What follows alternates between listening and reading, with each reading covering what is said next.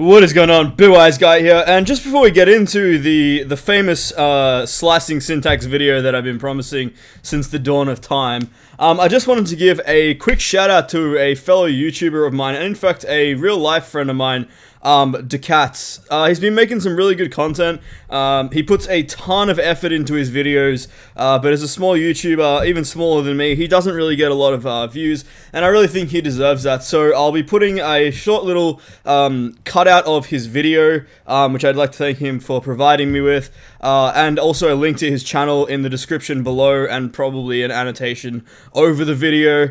Um, so if you guys want to see some like kind of funny, interesting videos um, just with him and a bunch of his mates. Just go check him out because um, I really think that they're you know they're a light, easy watch. Um, but anyway, let's get into this video, which is about array slicing syntax. So, uh, firstly and foremost, let's read from the book here. Uh, a slice is a reference to or a view into another data structure. Uh, they are useful for allowing safe, efficient access to a portion of an array without copying. For example, you might want to reference just one line of a file read into memory. By nature, a slice is not created directly, but from an existing variable binding. Slices have a defined length, can be mutable or immutable. So uh, let's just quickly break this part down. Um, so slices, this is probably, I think, the most important part of this whole uh, sentence for someone who's learning about slicing syntax, uh, which actually still kind of includes me. Um, slices are a fairly new thing uh, from any language that I've ever used, so they're really, I think they're really cool. Um, but for me, this is the thing which sticks out the most, and that's um, a slice is a reference to, or a, a, as they like to kind of paraphrase, a view into another data structure. So um, if for any of you who have used SQL, um, you'll kind of know that you can either select directly from a table or you can kind of create a view that looks into uh, that data structure. And although it's not super the same as um, what Rust's views are, that's kind of like um, kind of like a way that I like to think about it. Um, another way that you could think about it is like um, you're wearing a pair of binoculars and um, you kind of have a look. You kind of like have a look into you know. Um, I don't know, a shop's window for all the things that are in there. That's that's kind of a view um, in the way the best way that I can really describe it.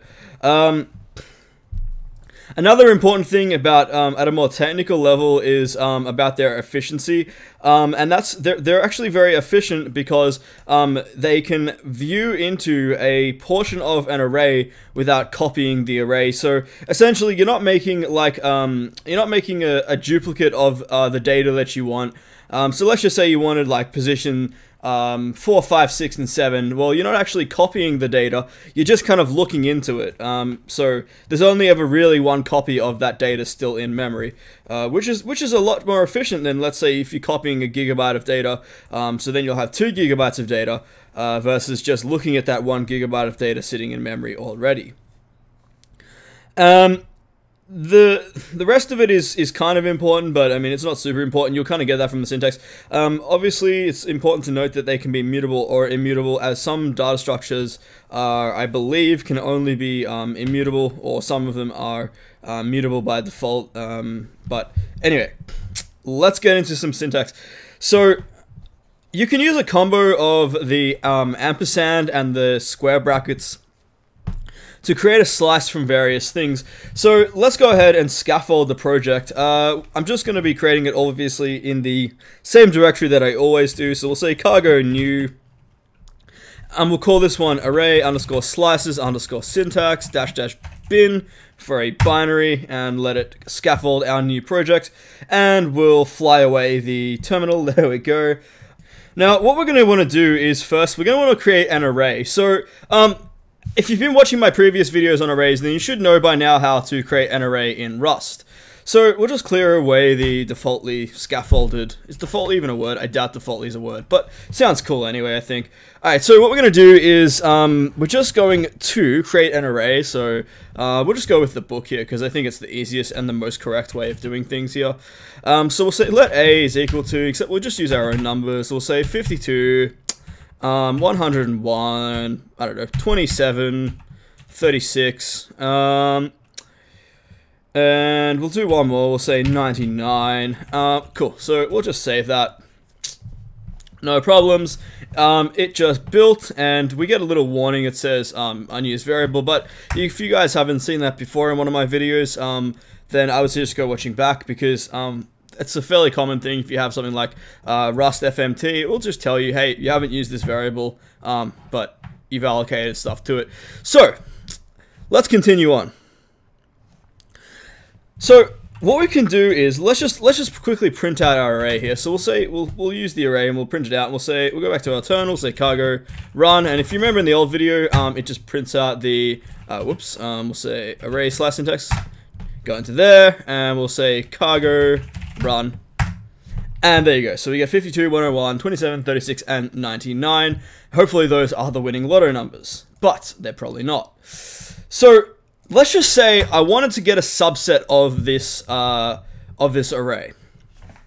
Well, firstly, I want to show you um, without getting a subset, but still using slicing syntax. So let's let's just go into it. So um, we'll say let entire underscore array equal to, and then we're going to use this little ampersand symbol here. So um, what we do is we say and for the ampersand, and then we say uh, the variable name. So we go, um, in our case, it's a, and then we do this. Now, the, the really important part of this slicing syntax, and we'll show this in the next uh, example, is this dot dot dot.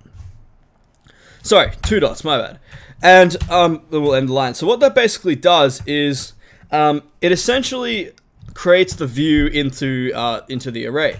So what we're going to do is we're going to print this out. We'll say entire underscore array, and uh, my autocomplete did some weird, sorry, something weird there.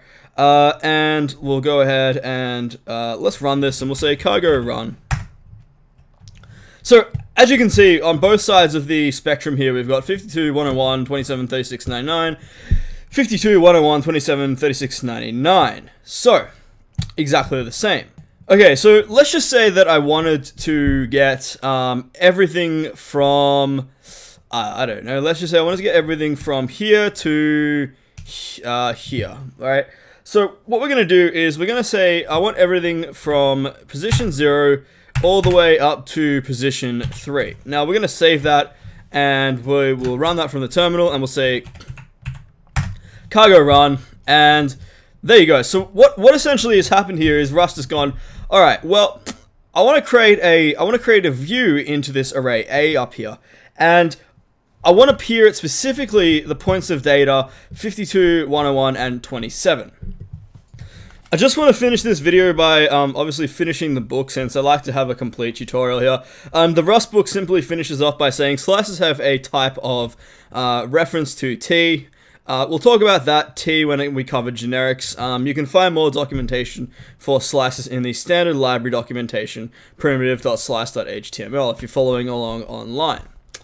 Um, thanks for watching, guys. I hope you enjoyed the video. Um, in the next video, we're going to be covering the string type, then the tuple type. Uh, and then if I turn the page here, we'll look at one more. We'll see. Ah, and we'll look at tuple indexing. Hey guys, um, I'd really appreciate if you clicked on the annotation above this video and subscribe and watch uh, video. He puts a lot of effort into them, and uh, I think it's quite funny actually some of the stuff that he does. Uh, but this video that you're seeing on screen now is a little uh, excerpt of their Blender Taste Test Challenge. It's quite gross, quite uh, weird, quite awesome. Um, basically just a bunch of drunk guys trying to figure out what exactly that they're eating and a bunch of even more drunken people trying to make sure that the other person throws up. I think, or something like that. But anyway, um, really appreciate if you check that out, guys. Thanks.